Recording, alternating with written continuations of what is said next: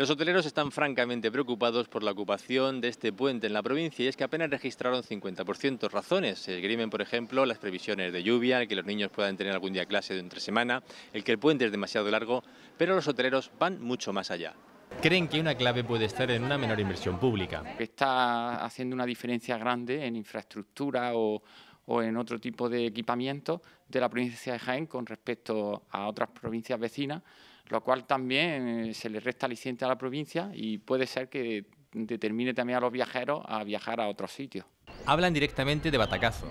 Los resultados que esperamos suponen un batacazo para el sector porque la media provincial es del 50%, algo que no nos esperábamos en absoluto.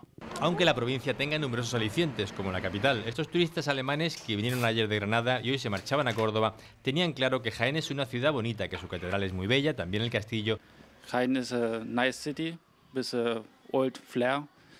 Um, the cathedral is really beautiful.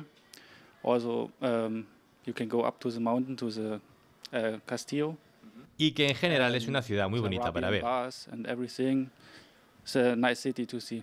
Este pinchazo en las expectativas puede amortiguar un buen año para el turismo jiennense, dado que hasta octubre se habían superado las 800.000 pernoctaciones y se preveía que a final de año se acercase a cifras de 2007, el año de mayor afluencia turística en nuestra provincia desde que se tienen datos, cuando se superaron las 950.000 pernoctaciones.